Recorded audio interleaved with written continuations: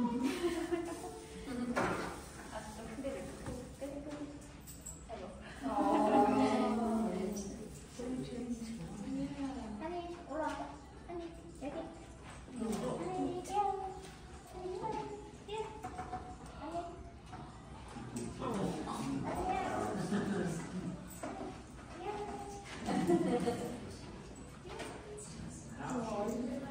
And you can press honey, but only talk to the creator and she likes press.